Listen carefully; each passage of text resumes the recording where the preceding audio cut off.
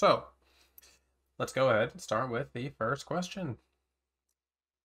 So what is the difference between INTJ, NIFI, and ISFP, FI, What is the difference between dominant NI and tertiary NI? So this is essentially just the question, um, how can we differentiate INTJs and ISFPs both being gamma quadrant so the difference between INTJs and, and ISFPs, it can be hard to tell, especially if they're mature. Um, ISFPs are actually one of my favorite personality types to interact with, and I think it's because they they're a lot like INTJs in that they're fiercely independent for the most part. And what I mean by this is like if you look at the INTJ and the ISFP, they're the types who are like the least afraid of like being themselves, and they tend to be unapologetically so.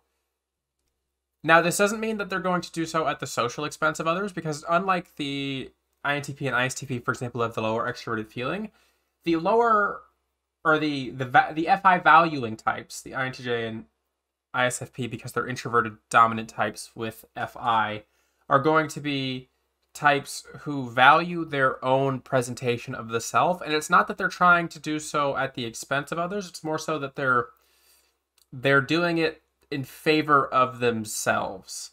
And that, that that can seem almost contradictory because it's like, well, what's the difference between at the expense of others and in the favor of the self?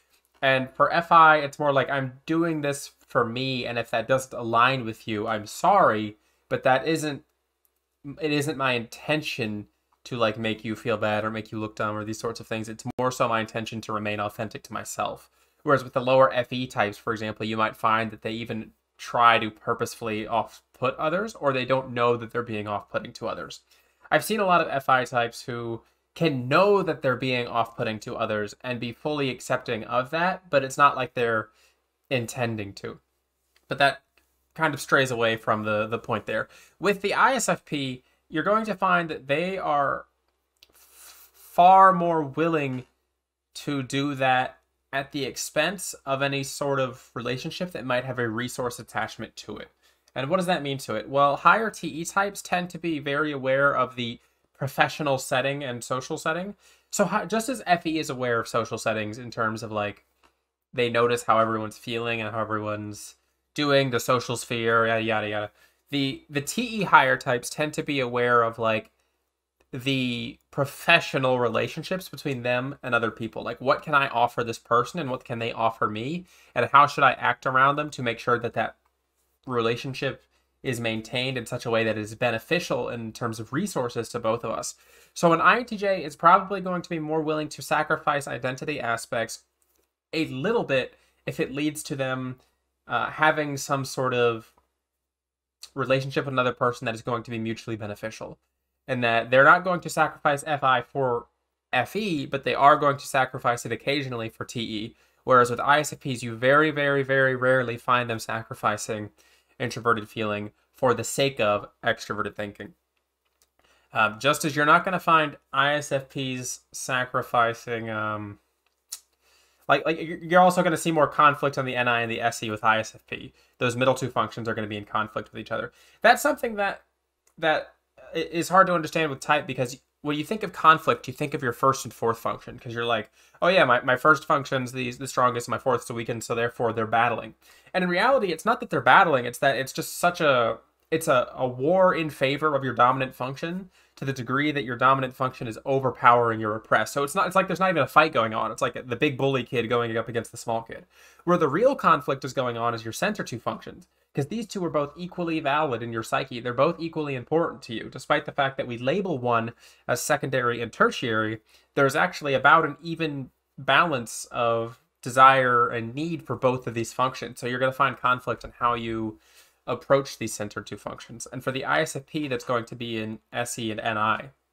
And you're going to find that the the ISFP is going to be spontaneous to a point, but also occasionally you might find themselves like feeling bad for their spontaneity because they have just a subtle NI recognition of the spontaneity, but they're also not so afraid of spontaneity like the INTJ that they won't ever do it. Just as with the INTJ, you're going to find a conflict between TE and FI, where they value the FI a ton, so they want to remain authentic, but occasionally they're going to sacrifice to TE professionality, uh, but then they're going to feel bad about it. So that's really the the, main difference between the ISFP and the INTJ, in my opinion, in terms of like if you just want to look through the lens of functions, is that where what are what are they sacrificing and where are they sacrificing those things? So the second part of this question is what is the difference between dominant NI and tertiary NI? Uh, well, that kind of goes back to what I said, but this does further help answer the question. So dominant NI is going to be more passive. It's going to be more reluctant to share. So this is kind of weird because NI, as Jung states and psychological types, is the function that doesn't really like to share itself. It's the function that is like, I, I see what I see, but I can't explain what I see to others because they won't understand me. Uh, and therefore, they learn to keep it in. Now, what's really interesting about ISFPs and ISTPs is that they don't keep NI in as much as the other types. And it's because they have tertiary NI and they, they really value it, but they don't feel this like secretive need about it in the same way. So you might find them a little bit more willing to talk about their NI perceptions if it's something that they're like FI interested in. There's a reason that we kind of joke that the ISFPs tend to be like, especially like girls and stuff, tend to be into like witch culture and astrology and these sorts of things. It's because they have that like that lower NI value for these archetypes that they don't fully understand and they're more willing to show them. Whereas you look at like INTJs and INFJs and they tend to be like, oh, I like these things, but also I'm very careful about how I talk about them because I understand that the world around me might not recognize the value in these things in the same way uh, that I see them. So those are going to be the differences there.